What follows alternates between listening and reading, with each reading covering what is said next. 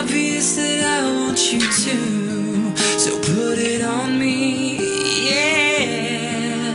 Let's remove the space between me and you. Here's the situation,